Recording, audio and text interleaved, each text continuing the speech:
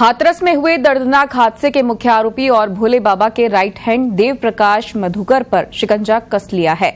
दिल्ली के नजफगढ़ से गिरफ्तारी के बाद पुलिस ने मधुकर को कोर्ट में पेश किया, जहाँ मुख्य न्यायिक मजिस्ट्रेट हाथरस ने आरोपी देव प्रकाश मधुकर को 14 दिन के रिमांड पर भेज दिया है। रिमांड के दौरान पुलिस मधुकर से सख्त पूछताछ करेगी और घटना के लिए जिम्मेदार लोगों तक पहुँचने की कोशिश करेगी। आपको बता दें, हाथरस में भगदड़ की घटना में अब तक 121 लोगों की मौत हो गई है और इस घटना के मुख्य आरोपी देव प्रकाश मधुकर को हाथरस पुलिस की एसओजी टीम ने दिल्ली के नजफगढ़ इलाके से गिरफ़्तार किया था।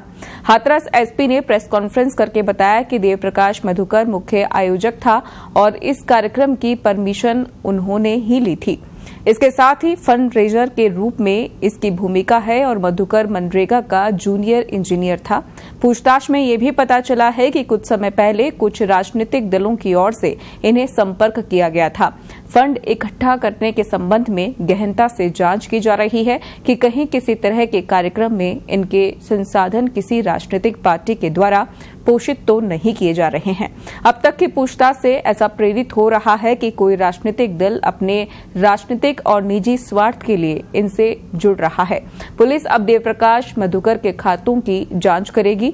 मुख्य आरोपी और कार्यक्रम के आयोजक देवप्रकाश मधुकर और दो अन्य आरोपियों को गिरफ़्तार कर लिया गया है। इससे पहले छह आरोपियों को गिरफ़्तार किया जा चुका था। वहीं हाथरस हादसे को लेकर न्यायिक आयोग की टीम घटना स्थल पर पहुँची और इस दौरान ब्रजेश कुमार श्रीवास्तव ने कहा है कि हमने पूरे घटना स्थल का निरीक्षण किया है और हमने सब कुछ नोट कर लिया है।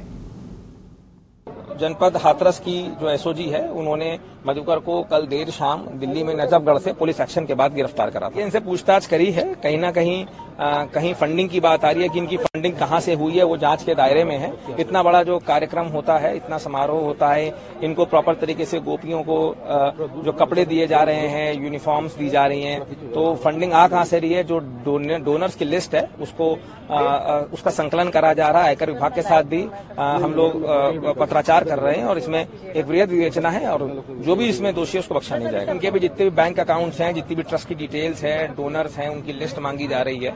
और कहीं ना कहीं उसके बाद जो भी लिंक निकलेगा मनी ट्रेल निकलता है कि इतना बड़ा, कहीं ना कहीं इसमें वर्दियाँ हैं इतना बड़ा कार्यक्रम होता, संगठित इतना खर्चा होता है तो इसके पास पैसा आ कहाँ से रहा है? तो कहीं ना कहीं ऐसा प्रतीत हो रहा है, कोई ना कोई पॉलिटिकल दल द्वारा कहीं ना कहीं इनको फंडिंग हो रही है।